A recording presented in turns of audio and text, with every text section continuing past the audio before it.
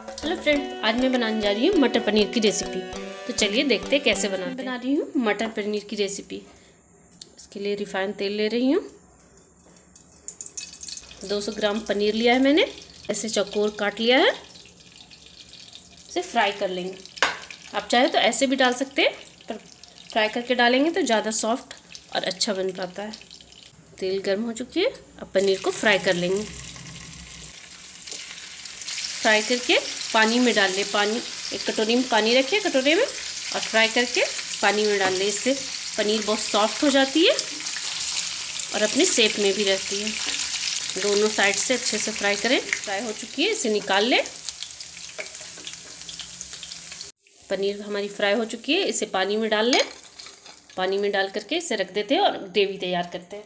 दो चम्मच कढ़ाई में घी डाल लें। दो चम्मच के करीब घी है, घी या तेल, जिससे भी चाय आप बना सकते हैं। आधा छोटी चम्मच जीरा लेंगे, खड़ा जीरा। जीरा को तड़कने देंगे। दो प्याज को ऐसे बारीक काट लिया है मैंने, देख रहे हैं हम बहुत कम मसाले में बन जाती है रेसिपी जीरा भुन गई है, अब इसमें प्याज डाल देंगे। प्याज को फ्राई कर लेंगे। गोल्डन होने तक प्याज को तल ले। प्याज को थोड़ा और फ्राई करेंगे।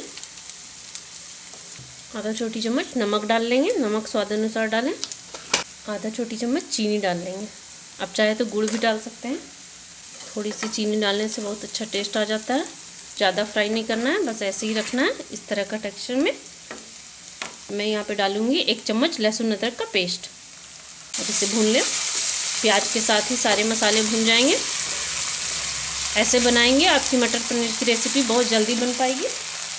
एक छोटी चम्मच हल्दी पाउडर, एक चम्मच लाल मिर्ची का पाउडर। तीखा आप जैसा पसंद करते हो, वैसे ही डालें। और धनिया का पाउडर दो चम्मच ले लेंगे। मसालों को प्याज के साथ ही भून लेंगे। अच्छे से भुने मसाले। आधा छोटी चम्मच गरम मसाले का पाउडर। अच्छे से मसाले के साथ प्याज को भून लें। अब खड़े गरम मसाले भी डाल सकते हैं, लेकिन मैंने पाउडर ही डाला है। हमारे मसाले भून रहे हैं देख रहे हैं आप तेल भी छोड़ रहा है। एक छोटी चम्मच पानी डाल करके भून लेंगे, ताकि मसाले प्याज अच्छे से भून जाएँ। आप यहाँ पे जल्दबाजी ना करें, मसाले को धीरे धीरे भूनें, तभी आपके मटर पनीर की रेसिपी बहुत अच्छी, बहुत टेस्टी लगेगी मटर पनीर की सब्ज़ी। मसाले अच्छे से भून चुके हैं। घी अच्छे से छोड़ चुका है। देख रहे हैं आप। घी या तेल आप जो चाहे ले लें। मैंने दो टमाटर को, दो बड़े वाले टमाटर थे, उसे अच्छे से ऐसे पीस लिया है। टमाटर डाल के इसे ढक करके पकाएँ। ढके हुए पाँच मिनट हो चुके थे। टमाटर को भूनना भी ज़रूरी है। सिर्फ़ ढक करके ही नहीं पकाएँ खोल खोल कर बीच में मसालों के साथ टमाटर अच्छे से भून लें। मेरे कुछ टमाटर अच्छे से नहीं पीसे थे, वो भी गल जाएँगे।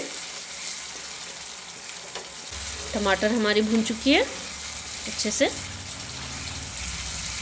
इसी के साथ मैं डालूँगी एक कटोरी मटर, हरे वाले मटर है, ताज़े मटर।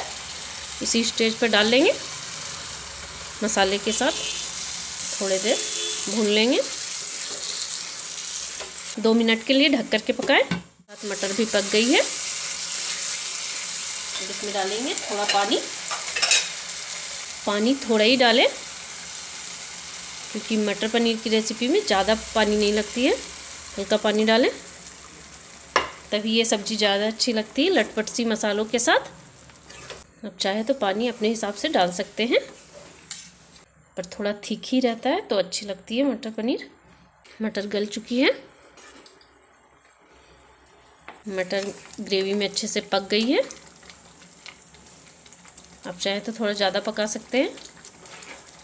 अब इसमें डालेंगे ये पनीर, जो पानी में डाल करके मैंने रखा था।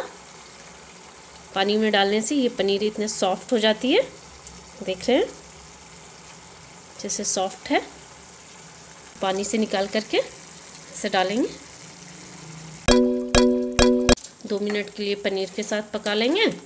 दो मिनट पनीर के साथ पका लिया है मैंने। हमारी मटर पनीर की रेसिपी तैयार हो चुकी है।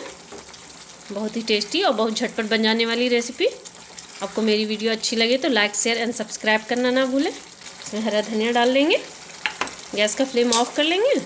हरा धनिया डाल लेंगे अब इसे सर्व करेंगे। मेरी मटर पनीर की रेसिपी बनके तैयार है। एक बार आप ऐसे बना करके देखें।